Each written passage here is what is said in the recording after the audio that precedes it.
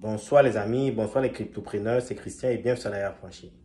Si vous suivez les actualités, récemment, il y a un vote de Samuel Eto'o avec euh, un président des clubs qui circulait sur les réseaux sociaux, le compromettant, où il y avait euh, des lieux de corruption et de fraude. OK? Euh, et pour essayer de sauver son image, le, porte-parole de Samuel Eto'o, Ernest Obama, s'est rendu a été invité ou bien s'est rendu dans une chaîne de télé pour disculper Samuel Eto'o en disant que le Voice, en quelque sorte, était un fake. Et avant ça, il n'y a pas longtemps, euh, un autre journaliste de renom de sport, Jean Lambernand, avait mentionné que cette voix dans l'audio était un fake. Vous savez, Samuel Eto'o, en quelque sorte, pour les Camerounais, c'est notre résident, ok? Euh, c'est notre idole, c'est quelqu'un qui est aimé par la population. Il a, il a, il a, il a beaucoup de courage et je crois que la population camerounaise l'encourage dans les activités qu'il apporte au niveau de l'Afrique Foot. Néanmoins, le but de ma vidéo n'est pas de parler de cet individu.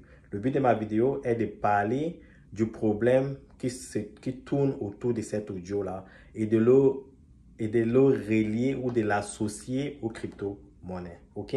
Parce que les crypto-monnaies, en quelque sorte, ne sont pas dissociées de la vie économique, politique, sociale euh, traditionnelle. OK? Est-ce que c'était un fake ou ce n'était pas un fake? Là n'est pas le but de cette vidéo. OK? Le but de cette vidéo, quand vous êtes tous des cryptopreneurs, des investisseurs, c'est de voir des opportunités. OK? De faire des analyses et et à travers ces analyses-là, voir comment aller dans la blockchain pour trouver, par exemple, des projets qui peuvent résoudre ce, ce, ce, ce cette histoire de fake. OK? Aucune expertise n'a été portée pour pouvoir déclarer si, euh, pour pouvoir dire si c'était la voix de Samuel Oto ou non. OK? Pour pouvoir déterminer de l'authenticité des voices dans cette vidéo. OK? Néanmoins, au niveau des cryptos actifs, il faut comprendre ce que c'est les narratifs. OK?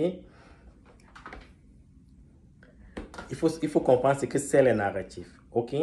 La première des choses, c'est quoi? C'est quoi les narratifs? Euh, si, vous avez suivi le, si vous avez suivi le dernier bourron, pendant le dernier bourron, il y a des projets il y, a des, il y a des utilités qu'on n'imaginait même pas. La finance décentralisée, les NFT, euh, le, metaverse et autres. Ces narratifs sont nés dans le rôle de 2020. Ces narratifs n'existaient pas dans le rôle de 2017-2018. OK? Par contre, des projets comme Sandbox existaient déjà depuis 2015. Mais ces projets n'étaient pas visibles parce que le narratif en ce moment n'existait pas. Néanmoins, il y a des visionnaires qui avaient déjà acheté Sandbox parce qu'ils comprenaient que dans 2, 3, 4 ans, le narratif des metaverses devait naître. Ces gens-là sont devenus des multimillionnaires. Des multi-multimillionnaires. Parce que Sandbox a fait, je crois, presque 200x. OK? Maintenant, vu la situation des fakes, OK, liées à l'identité des individus, à, la copie des voix des individus, à la copie des visages des individus, il faut essayer de trouver à travers la blockchain quel projet essaie d'apporter une solution à ce genre de problème. Et maintenant, se projeter vers le futur. OK? Et peut-être le, narratif du prochain bourron sera lié au niveau de l'identité parce que l'intelligence artificielle apporte un problème complexe. Comment authentifier la voix, le caractère, le visage le physique des individus dans l'AI et le, et le dissocier de la personne réelle? Parce que il y a des copies, il y a des copies de voix qui sont proches de la voix réelle que même certaines technologies ne peuvent pas dissocier. Quelle est la bonne voix et quelle est la mauvaise voix Quel est le fait et quelle est la réalité? Ok?